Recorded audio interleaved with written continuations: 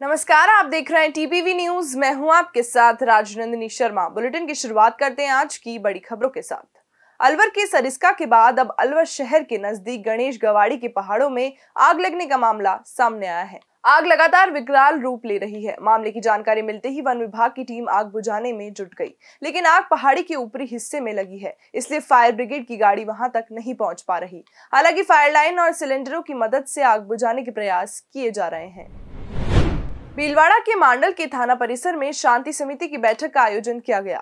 बैठक में आगामी त्योहार, अंबेडकर जयंती, हनुमान जयंती और ईद को लेकर कस्बे के वरिष्ठ जनों और शांति समिति के सदस्यों से चर्चा की गई। साथ ही आगामी त्योहार शांतिपूर्ण तरीके से मनाने की अपील भी की गई। इस दौरान जिला कलेक्टर आशीष मोदी और पुलिस अधीक्षक सिद्धार्थ सिद्धू सहित कई सदस्य मौजूद रहे।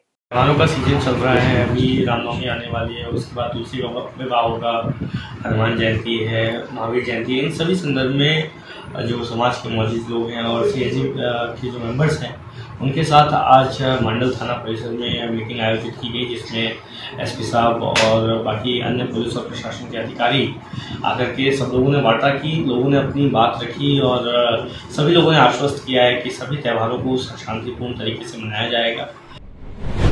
बूंदी के हिंडोली में राज्य मंत्री अशोक चांदना ने पंचायत समिति में जनसुनवाई का आयोजन किया। मंत्री की जनसुनवाई के चलते ग्रामीण अपनी अपनी समस्याओं को लेकर पहुँचे। वहीं जनसुनवाई में समस्याओं का अंबार लग गया।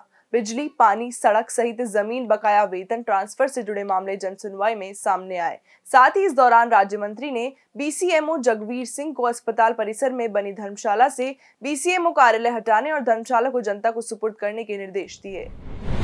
खबर रतनगढ़ से है, जहाँ पुलिस थाने में अखिल भारत हिंदू युवा मोर्चा के कार्यकर्ताओं ने नगर पालिका पर पट्टे वितरण में भेदभाव और पालिका ईओ द्वारा मीडिया कर्मी के साथ बदसलूकी का आरोप लगाते हुए मुख्यमंत्री के नाम जिला कलेक्टर सिद्धार्थ सिहाग को ज्ञापन सौंपा।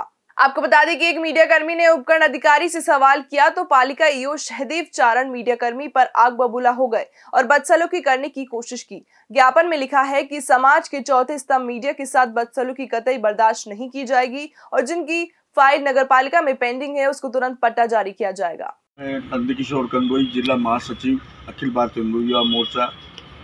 आज रतनगढ़ नगर पालिका में मीटिंग के दौरान हमारे संगठन के पदाधिकारी सुशीला इंदारे द्वारा राजस्थान सरकार द्वारा चलाए जा रहे पट्टा अभियान के अंतर्गत पक्षपातपूर्ण रवैया अपनाने के एवज में एसडीएम साहब, श्रीमान एसडीएम साहब से वार्तालाप की कि सर, यहाँ अपने निजी आदमियों के पट्टे बना रहे, जा रहे हैं, जबकि अन्य लोग शिकायत कर रहे हैं कि हमें पट्टे के बदले पैसों की डिमांड की जा रही है। तो एसडीएम साहब ने हमारे पद के संगठन के पदाधिकारी को ये कहा कि आप एसीबी से शिकायत कीजिए। इसी द्वारा, इसी दौरान वहाँ खड़े एक पत्रकार महोदय ने एसडीएम साहब से तीखे सवाल किए। तब वहाँ बैठे हुए रतनगढ़ नगर पालिका ईओ उनके ऊपर गर्म हो गए। हमारा संगठन इस तरीके के रवैयों का घोर निंदा करता है। धौलपुर ज़िले के बाड़ी उपखंड में जिला पुलिस अधीक्षक के निर्देशानुसार फ्लैग मार्च निकाला गया। ये फ्लैग मार्च आगामी त्योहारों को सुगम और शांति प्रिय बनाए रखने के लिए निकाला गया। इस दौरान एडिशनल एसपी बचन सिंह मीणा, बाड़ी उप जिला कलेक्टर राधेश्याम मीणा, तहसीलदार गिरधारी लाल मीणा सहित कई पुलिस अधिकारी मौजूद रहे। डीडवाना में रामनवमी के अवसर पर नगर में निकलने वाली शोभा यात्रा को लेकर पुलिस और प्रशासन पूरी तरह सतर्क नज़र आ रहे हैं। इसके लिए उपखंड अधिकारी कार्तिकेय मीणा की अध्यक्षता में थाना परिसर में सीएलजी और शांति समिति की बैठक आयोजित हुई। शांति समिति की बैठक में लोगों ने रविवार को होने जा रहे आयोजन की सफलता की कामना के साथ शांति, सौहार्द और भाईचारा बनाए रखने का प्रण दोहराया। साथ ही प्रशासन ने फ्लैग मार्च निकालकर पुलिस और प्रशासन की सजगता का प्रमाण भी दिया।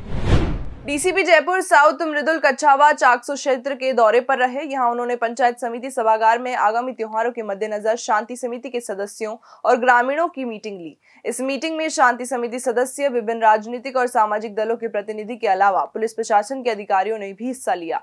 इस दौरान डीसीपी मृदुल कच्चावा ने कहा कि आगामी त्योहारों को आपसी सौहार्द और भाईचारे के साथ मनाना चाहिए और करौली जैसी घटना की पुनरावृत्ति न हो इसके लिए पुलिस प्रशासन मुस्तैद है। साथ ही पुलिस की साइबर टीम उपद्रवी तत्वों पर नज़र बनाए हुए है। देखिए आज चाकसू कस्बे में कस्बे के समस्त मौजूद लोगों के सम, समक्ष समस्त पुलिस विभाग प्रशासनिक अधिकारियों की उपस्थिति में एक सकारात्मक चर्चा आज यहाँ पर हुई है। उपस्थित सभी कस्बे वासियों ने उनके जो सुझाव थे चाहे वो ट्रैफ़िक की समस्या को लेकर के, चाहे वो अन्य स्थानीय पुलिसिंग को लेकर के वो सुझाव अपने दिए। जिन पर आने वाले समय में सकारात्मक तरीके से एक बेहतर पुलिसिंग का प्रयास जो है हमारे द्वारा किया जाएगा। जहाँ तक आने वाले समय में धार्मिक त्यौहारों और कार्यक्रमों की बात है तो इसमें कोई दो राय नहीं है कि चाकसू कस्बा जो है, वो सामाजिक सौहार्द का एक सदैव से उदाहरण रहा है। और सामाजिक सौहार्द की, आपसी भाईचारे की यहाँ पर एक परंपरा रही है और यही परंपरा आगे भी बरकरार रहेगी। आगामी त्योहारों में शांति और कानून व्यवस्था के मद्देनजर जिला कलेक्टर कुमारी रेणु, जयपाल और पुलिस अधीक्षक जय यादव ने कस्बे में जुलूस, शोभा यात्रा आदि के प्रमुख मार्गों का निरीक्षण करते हुए फ्लैग मार्च किया। फ्लैग मार्च पुराने बस स्टैंड से तहसील रोड होते हुए वापस पुराने बस स्टैंड तक निकाला गया। वहीं फ्लैग मार्च के ज़रिए जिला कलेक्टर और पुलिस अधीक्षक ने कानून व्यवस्था चाक चौबंद होने की संदेश दिए। भीलवाड़ा के गंगापुर कस्बे की चौकी में शांति समिति की बैठक का आयोजन किया गया। पुलिस उप अधीक्षक गोपीचंद मीणा ने बताया कि बैठक में आगामी त्योहार अंबेडकर जयंती, हनुमान जयंती और ईद को लेकर कस्बे की शांति समिति के सदस्यों से वार्ता की गई। बाड़मेर ज़िले के कल्याणपुर क्षेत्र में नागाना धाम राठौर वंश की कुल देवी नागणीची माता का मंदिर पर कोरोना काल को लेकर दो वर्ष बाद नवरात्रि कार्यक्रम धूमधाम से मनाया जा रहा है। नागरेची माता के दर्शन के लिए असंख्य श्रद्धालुओं का सैलाब उमड़ पड़ा है। वहीं होम अष्टमी पर धार्मिक अनुष्ठानों सहित यज्ञ और विभिन्न कार्यक्रम का आयोजन भी किया गया। वहीं व्यवस्थाओं को लेकर कार्यकर्ता सिक्योरिटी गार्ड और पुलिस जवान तैनात है। फ़िलहाल इस बुलेटिन में इतना ही। देश दुनिया से जुड़ी तमाम खबरों को देखने के लिए देखते रहिए टीपीवी न्यूज़ नमस्कार।